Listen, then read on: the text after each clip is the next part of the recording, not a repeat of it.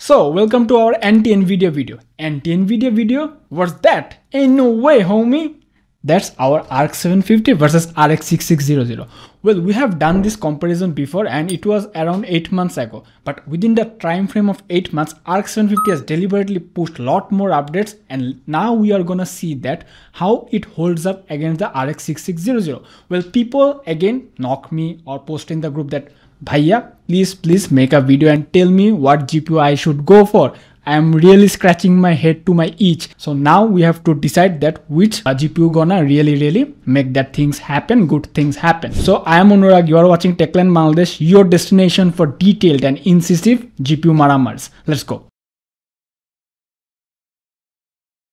First thing we have to mention about this GPU is the price. Well, ARC 750 you can find it for 27,000 taka exactly and RX 6600 it is now costing around 27,500 taka. So 500 taka more than the ARC 750. As like our all other videos, I'm gonna put this 2 GPU spec on the screen. You can pause and see those spec. Now we are gonna talk about the test system we have included this GPU into. We have embedded our Ryzen 5 7500F along with the MSI Pro B650 MP motherboard, Kingston NV2 500GB SSD, Corsair DDR5 Vengeance 16GB 6000 MHz DDR5 RAM along with the PSU of 550 watt and hey, that's it, that's the thing. Now we are gonna straight jump into our synthetic benchmark and as all you know that we always uh, do the benchmark in three categories. There's a synthetic, gaming and productivity. In those three segments, the, the GPU's course mode that takes the title into the home. So let's start with our synthetic benchmark. So in the case of synthetic benchmark, we started with our, as per our tradition, you all know, Geekbench 6 OpenCL system testing. In OpenCL system testing, we know that AMD has recently stopped their R&D, so there won't be a much of the score, as we know. So now when we did the OpenCL system testing, we saw that ARC 750 has swept the floor clean with 33.6% improvement. When we stepped into Vulkan, there was not much any of difference, but when we stepped into MSI Kombustor benchmarking system, we saw that ARC 750 was pushing 68 FPS, where 6600 was only pushing 36 FPS, which is a really bad score. Next again, when we uh, jumped into superposition benchmark in 1080p extreme preset, we saw that ARC 750 cleaned the floor again with 75.3% enhancement, which is really, really game changing synthetic benchmark scoring. And in last, when we put this GPU into 3D Mark Wildlife Time Spy system, which is a 4K DX12 based benchmark, and you all know our Pookie GPU 750 likes DX12, DirectX 12 very, very much. So when we completed the benchmark, we saw that there was almost 54.6% enhancement in performance in 3D Mark Wildlife. So greatly, we have to say, if we combine all the synthetic benchmark, ARC 750 is really, really heading the way with 50.4% average performance upgrade from 6600 which is a really really great thing now we have to shift into gaming benchmark and now let's see which gpu cleans the floor before starting the gaming benchmarks, we have to clear one thing. We have put all the games into the test of ultra preset or max preset available and we have uh, turned off the ray tracing system or uh, any upscaling method because we want the raw thing, raw benchmark from the uh, both of these GPUs. Well, when we started the benchmark with our in-law of NVIDIA aka Cyberpunk 2077 in Ultra preset, we saw that in average FPS, the ARC 750 is almost 21.3% ahead, which is a lot of um, performance upgrade considering the same price almost. Then when we shifted into Alan Wake 2, which is a system crushing game, I always say, in Alan Wake 2 in high preset, we saw that ARC 750 was pushing in average 40 fps and 1% low 16 fps and 6600 was pushing in average 38 fps and 1% low only 8 fps. There is certainly a 5.26% enhancement for ARC 750. Then when we stepped into the PS Port Horizon Forbidden West in very high preset, we saw that in Horizon Forbidden West, the ARC 750 was behind. It was almost 12.757% behind from the RX 6600.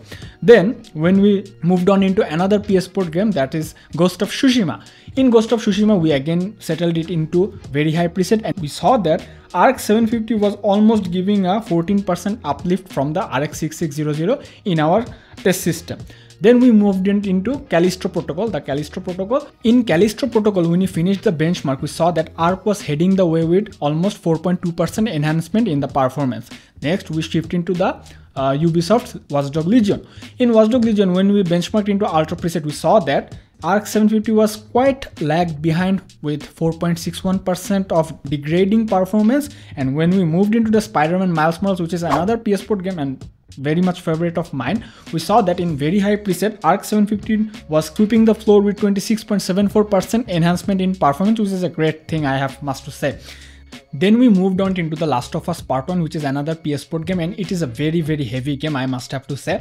When we finished the benchmark it has really been a bad reputation for non-optimization and it was very much unoptimized and our GPU reportedly struggled uh, to run the system but after a few patches and updates we saw that our GPU is really quite good performing but it was behind by 8.7% from RX 6600 in the last we have played the god of war in the ultra preset god of war when we played we saw that ARC 750 was really really performing 25.9% extra than 6600 which is quite a good margin i must have to say. Now we have to talk about the cost per frame system. Those who don't know what cost per frame is i must have to say again that cost per frame is a measurement from which you can get a rough idea of how much you have to pay to get a single unit of fps so uh, let's consider this situation that you have gone to a market and bought the arc 750 if you bought the arc 750 and if you play all the games in max preset uh, omitting the ray tracing and upscaling performances arc 750 will give you 70.2 fps in 70.6 fps in average and it will cost you around 382 taka per fps and if things go vice versa and if you take the RX 6600 if you take the RX 6600 uh, the RX 6600 will produce 64.8 fps in average and it will cost around 424.38 taka in per fps so let's take our math scratchbook and let's do some math. So if you buy the ARC 750 ARC 750 will give you 6 more fps than RX 6600 in average but it will cost you 41.98 taka less. Or if you take the accountability of percentage in this again you will get straight 9% improvement in performance if you take the ARC 750 but it will cost you 9.9% less taka in the segment of this cost per frame. So definitely we can say that ARC 750 has really done a great great job and the driver update really really came very much handy and on the other hand RX 6600 is not performing so well because it has certainly reached its lifespan and the driver updates from AMD are not so quite helping it that much but ARC 750 has a really really clear headroom as we predicted 8 months back and it's really living up to its name. But the story doesn't end here. There is a, another situation which is quite disturbing for RX 6600.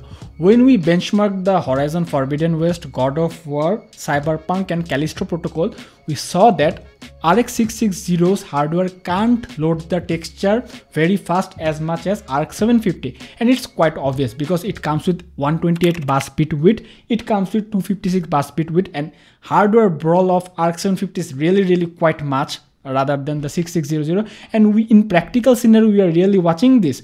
We are seeing that how the intense the game scenario becomes the the more struggle RX 660 has to go through for loading the texture or the shader of the face. Definitely the shader engine of RX 660 is lagging behind as far as the games are getting more demanding we must have to say.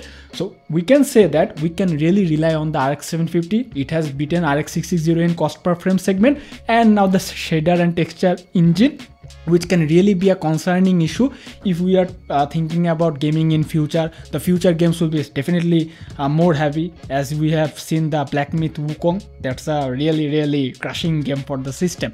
Now we have to talk about the productivity segment. In productivity segment we didn't keep much of a test. We just kept the uh, DaVinci Resolve Puget system benchmark. In Puget system benchmark, when we did finish the benchmark, we saw that in overall ARC 750 has pushed 1703 score and in GPU it was really quite higher than uh, 6600 which is which was 53 and ARC 750 is, is almost 82 which is a really really quite a gap and it's a open secret that not open secret it's a clear thing that ARC 750 comes with better ray tracing architecture it has really really ray tracing cores on another hand 6600 we don't even call it ray tracing cores those are RT accelerators that are the name put by the AMD uh, for this GPU. And now we have to talk about the AV1 performance. AV1 performance is really, really good in encoding system when people do export the videos and everything. And also we have to say about the hardware brawl again. It is really, really doing very well. And XeSS in upscaling method, it's also doing a very, very good job. So this is the thing. This is our benchmark. In conclusion, we have to tell some things and let's put a conclusion to this video. In conclusion, I must have to say that I have been really impressed by ARC 750's development and improvement and Intel is really working hard uh, regarding their uh, patch and updates from their driver side and I have to say that RX 6600 is quite a great GPU. It has good acceleration, good memory clock speed, but it is really falling behind because it's a GPU from 2021 or late 2021 and it has really reached its lifespan. And the hardware uh, inbuilt into this is not so really quite strong like 750 and 750 the good thing about 750 i have to say that intel will be continuing to deliver more update more patches to this gpu and there are still still much more of a headroom. So those who do crack gaming uh, download cracks from various websites or torrents you have to uh, ensure one thing that you always keep the updated driver of arc 750 and you also have to download the latest patch so you can ensure the maximum performance from this gpu and arc 750 i can say in synthetic benchmark completely annihilated the rx 6600 in gaming benchmark. For the first time it has been really uh, doing great. And in the productivity segment i don't think no one will take 6600 uh, whoever works in blender or whoever does video editing jobs. We have seen in the System that arc 750 also sweep clean the floor. So this is it. This is our video. If you like this video you can put a like to the like button and subscribe to the channel is a must. I won't say this much more. And you can do one another thing that you can join Techolic Bangladesh which is our Facebook group. I have put the link below in the description. Here we gossip about lots of things CPU GPU versus battles monitors SSD or there are a lot of tech stuff tech news every day for you guys so this is it. I'm Anurag signing out and definitely I'll catch you on the next one